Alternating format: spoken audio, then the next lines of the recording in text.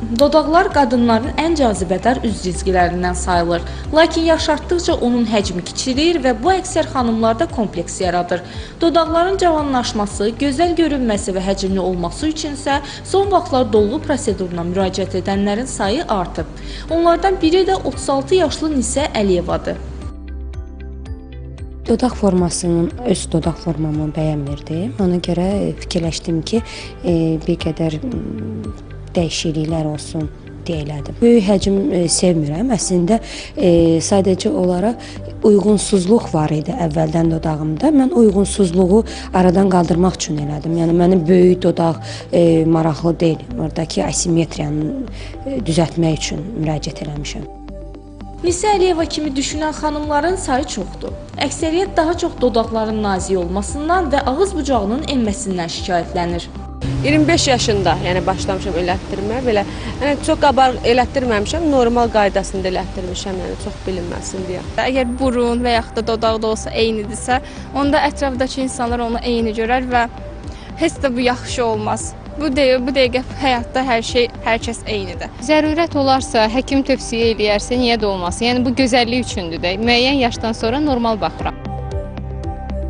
Müasir dövrdə pasientlərin arzuları odur ki, ya bantik dodaqlar dediyimiz, e, ya çiyələk e, formalı dodaqlara görə müraciət eləyirlər.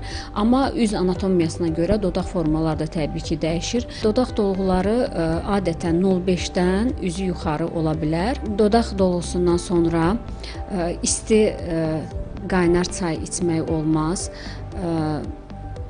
bərk e, çeynəmə vasitələrindən istifadə e, etmək olmaz. Hətta belə deyərdim ki, gülmək belə, yəni dodaqda deformasiyalar əmələ gətirə bilər. Ona görə də 3 gün müddətində pasiyent gözləməlidir.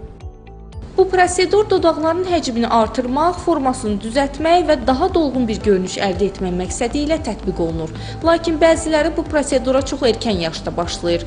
Həkimlər bunu düzgün hesab etmir son zamanlar ə, erkən yaşlarda və yaxud lazımsız nahiyələrə həddən artıq ə, deməli geniş vüsət almış ə, dolğu inyeksiyaları həyata keçirilir. Bu da insanın özünün estetik görüşü, görkəmindən, estetik görünüşündən çıxardır.